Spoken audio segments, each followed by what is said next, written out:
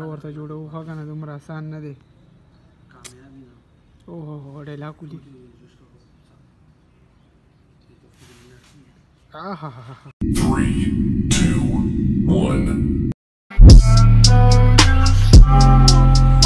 3 السلام علیکم امید لرم چې تاسو ټول به ښه او خوشاله به یو نوې ولاګ او یو نوې ویډیو راځي چې سټارټ ولو یار نور لګي کنه نو دی وجه کیمره لاندې نیسو او امید لرم چې دا ویډیو به تاسو خامخا لایک کوئ چینل شیر کړئ او سبسکرایب یې مست کړئ یار پلیز خامخا دا کار کوئ بار ته هم ولا چې یونیورسټي والا خلک راوتي دي نور خو پوه شوی که نه او زه هم کلاس ته روان یم څوک شته نه نو بس دې د وجې څه نه شي ویلی او بس هم راورسېدو خدای د بس چېرته په خیر کې د بس ټایم مې معلوم کړی دی که نه نو ډایرک راته پته لګي چې بس په دې ټیم راځي دا وګورئ رالو پورا ایگزیکټ ټایم یې راته معلوم دی چې په دې ټیم بس راځي نو بس ما ته پته لګي زه ورته په ټیم راوځم او دا دوه کسان د سټرونګ فایبر نه جی ډیر تنګ راغلي دي او دا د یار پیټسیل اخرم پورته پاتې شو پیټسیل د خیره لګوو ځکه چې سټون فایو به ډېرې مسلې شروع کړي یار مونږ خاص کر پبجي ته لګولې ده پبجي کار چې نه کوي نو بیا به زمونږ څه بیا خو هېڅ هم نه ټوټلي پبجي خراب دی او بس انشاءالله کوشش کوو چې برابر شي الله خیر غاړې ودرېدو ډالر راته ودرېدل هسې نه چې اوس هم سوفټویر اپډېټ شي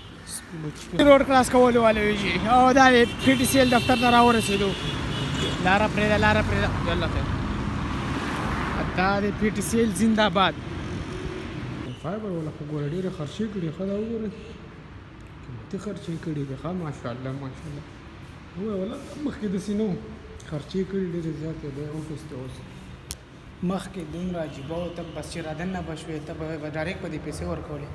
دې ځل خو یې خرچې کړي دي ټول له ضروري کار وبهیم یې ښیي یار ماشاءالله ماشاءالله څومره کوکو دي دا اوس کور که نه خبره ورسره کوو چې څه جوړېږي خامخا نیټ مونږ لګوو او خامخا سټون فایبر خو خو کوو پي ټي سي ایل لګوو ځکه چې دا وګوره زبردست یار نن سبا وخت کې دا ډېر زبردست شی دی دا وګورئ ښه دومره محنت کېږي په ویډیوګانې باندې دا وګورئ دومره اسان نه وي ښه که نه دا ویډیوګانې جوړول دا قسم دی تاسو ته اسان ښکاري تاسو ته به دې اسان ښکاري که نه چې بس تاسو صرف یو لایک هم نه شئ ورکولی جوړوئ خو هسې نه شئ دا غریب وګورئ مړی والله زه در باندې خفه کېږم وروره دا وګوره ښه څومره محنت کېږي او تاسو یار دې محنت ته لږ لایک ورکوئ او د خیر ان شاء الله سټون فایبر مې هم درته بس لزوم یې ځکه چې دومره خراب هغه کوي کار یې سټارټ کړی پته نه څه چل پې شوی زما د طرف نه ټولو اخوا کوي سټون فایبر پي ټي سي ایل زنده باد نو ورته جوړوو ښه که نه دومره اسان نه دی اوهو ډېر لا کولي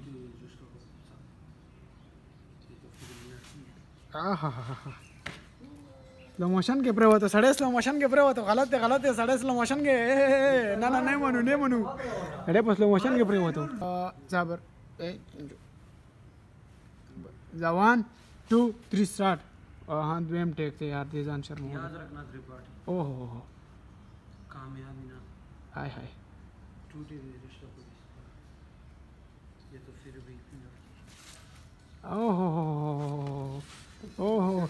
تاسو په دې ویډیو کې څه وښکارېدل وښکارېدل وښکارېدل وښکارېدل دا وښکارېدو شی وښکارېدو خو شی به درته ښیم زوم کوم به یې درته دا زمونږ ویډیو سټارټ ده یار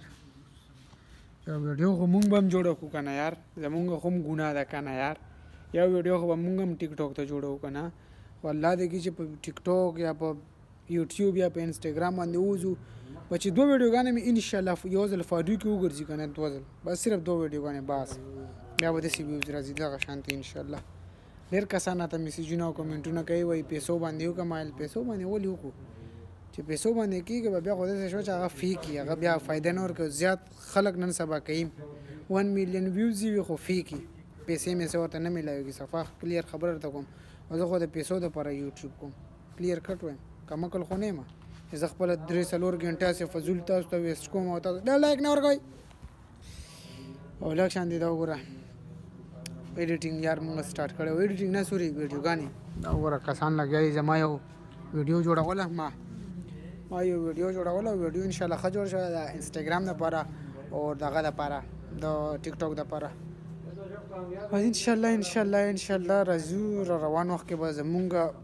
یوټیوب به زمونږ وي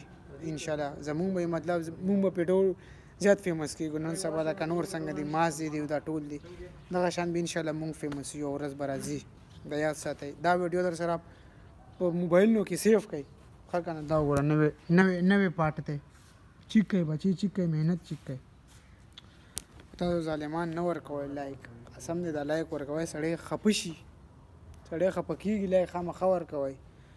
او بس نشته یار نن نو کډمی ته ولا نړم ستړی د کلاس نه دومره ستړی رالم بیا پیټ سیل ته لاړو سټرون فایبر ډیسمیس کوو ان شاء الله